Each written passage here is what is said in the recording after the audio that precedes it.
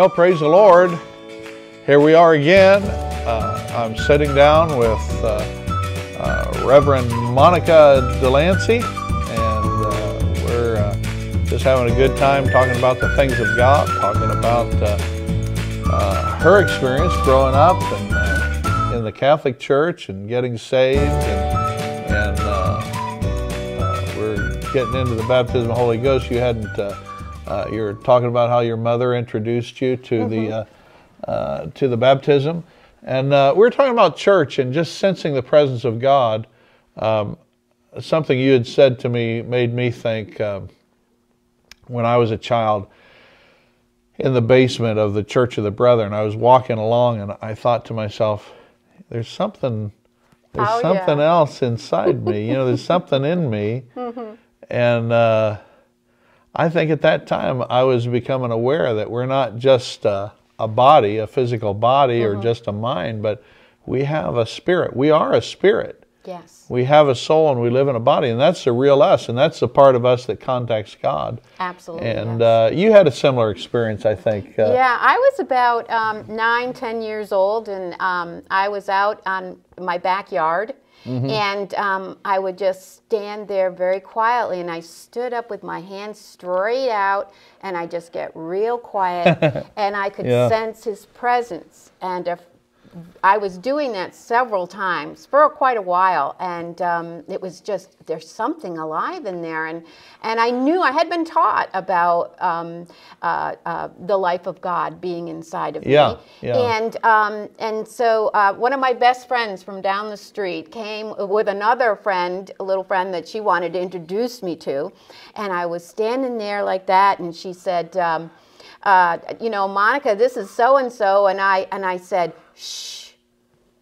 There's something alive in there, and they turned around and ran away. yeah, yeah. but um, yeah, I, I I could sense my spirit, and uh, and I just it was just amazing to me that actually, you know, it made me think uh, how Hollywood glorifies the uh, the negative aspect. You know, Yeah. The Shining and The Exorcist, and Yes. and people possessed of the devil. But but uh, the reality is, if you're a Christian, God lives on the inside of us, Absolutely, and yeah. Mm-hmm. that is a real thing. That is, uh, uh, that's not religion. That's not doctrine. That is God alive on the inside of us. And Yes. and if there's anything uh, that we could say that's different about religion, you know, we're not talking about just growing up in a church and learning the Ten Commandments and and learning uh, um, the Golden Rule, you know, do unto others as you'd have others do unto you. Jesus mentioned in the Sermon on the Mount, and we learned all those things as children growing up and and learned the Word and the Scriptures, uh, but there's a reality yes, that God is alive Yes. and God is in us, and this is more than just uh, um, a moral code, Mm-hmm. and it's more than just learning a religion. It's the life and nature of God on the inside of us, and and uh, I became aware of that as a child. I remember singing the song. Come into my heart, come into my heart, Lord Jesus. Come in today, come in to stay, come into my heart, Lord Jesus and uh, we sang about the fountain flowing deep and wide. You know, I never thought of, about it at the time flowing on the inside of me, but I know that's what we were talking about. We Yes. are talking about that that uh, well of water that springs up on the inside to eternal life, and and uh, that's not religion. That's not uh, just following a, a moral code of ethics. That's the life Yes. and nature and ability of God, and, Yes. and um, that makes all the difference. And oh, absolutely, and whether you're a Catholic, whether you're Methodist, Baptist, Presbyterian, uh, what we all are made for and created for is that um, that relationship and fellowship Mm-hmm. Yes. with the God who created the heaven and the earth. absolutely, And yes, uh, and that's what you were experiencing. That's Yes. uh, Yeah. that was that uh, experience on the sidewalk, you know. yeah.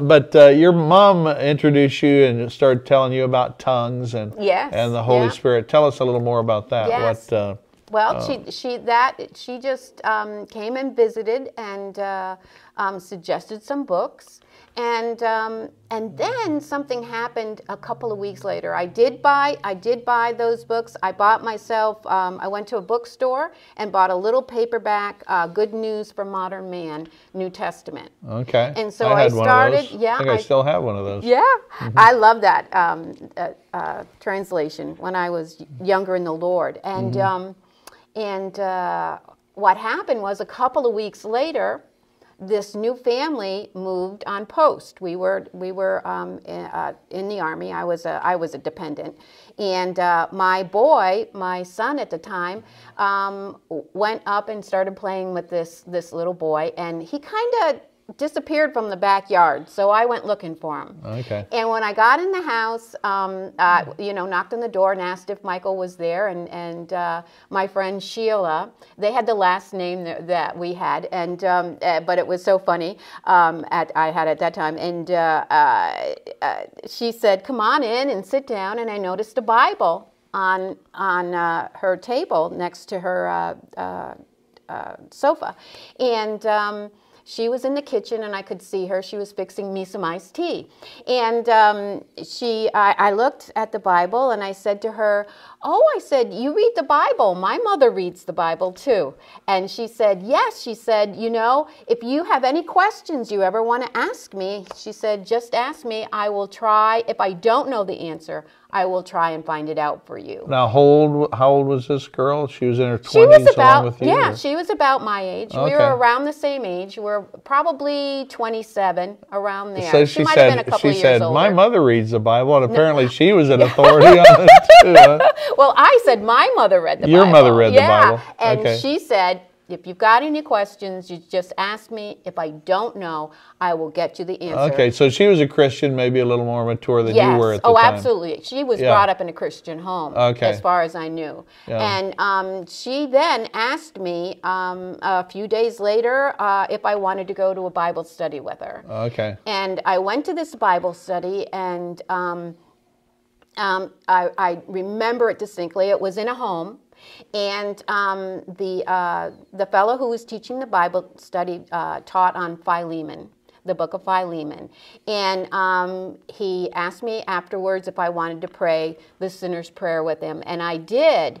Um, uh, and but I, I it's so funny what we were talking about knowing the life of God is inside of us. I felt a pressure go off of my my shoulders. Okay. I and um, it lifted off of my shoulders.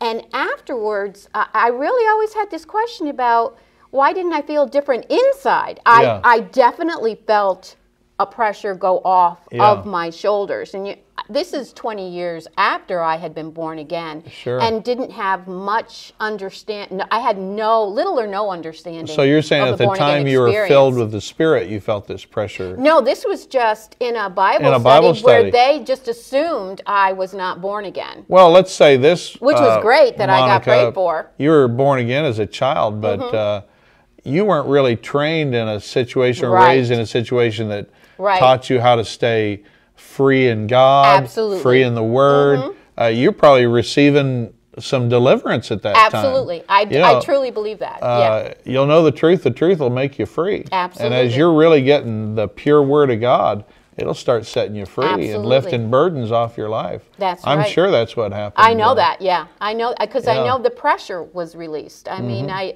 uh, and at that time I really didn't understand it, but I knew something had happened. Yeah. And then uh, with Sheila, I went to I went to uh, church with her, and I remember thinking, these people believe the way I believe in God. Okay. And um, and then Wow. the next Wednesday, I Sheila couldn't go, but I drove over to that house for the Bible study. But they had a sign up saying there's a meeting at um, the church that I had been to on Sunday. Okay. And um, I drove over to that church. I had to find my way out of that neighborhood because I had never really been there. Yeah. And the church was right off um, I 10 in El Paso. And I went in, and the service had already started, and um, a man named Joe Nay was um, a guest speaker there, and he was teaching on righteousness by faith. Yeah. and that we have rights with God. And all I could think of, and I always Now, wanted is to be a- this uh, the church in Texas that you? yeah, Abundant Living Faith Center. And who's the pastor there? At the- Charles Nieman. Charles Nieman was a pastor, and this is where you came into a revelation Yes. of righteousness. Yes, and Oh, this is wow. and this That's really powerful. is the church. I was only there. I was there for maybe one full calendar year, and um, because um, we returned uh, to northern New York, Mm-hmm. and, but in that one calendar year, I believe, and I, I know it because I it was uh, 36 years ago, and um, and uh, uh, that uh, I had the basis that kept me strong for the rest the Sure, rest of that my really put in ongoing you life. a foundation yes, that a foundation. you hadn't had before. Yes, and, and- really, that's the that's the believer's number one need is to Absolutely. understand his righteousness Absolutely. in Christ Jesus Yes. and received and uh, from uh, from the Lord. So uh, yeah, and it was at that time you got filled with the Holy Spirit in that church. Or? Yes, just about the time I started going, or right after. I didn't get filled with the Holy Ghost in church. Okay. Um, I was kind of shy. I, I, I tend to be when I don't know people. I you once I get to know people, I, I Then you start, start talking. yeah. you know me. You can go, go ahead and know me. But uh, um, I, I really didn't want to go up and have hands laid on me. Yeah. And but my mother, um, one of the books uh, that my mother had suggested for me, um, went through the steps of of getting baptized in the Holy Spirit, and um, I just knelt down in my bedroom, and um, I was a little afraid of tongues.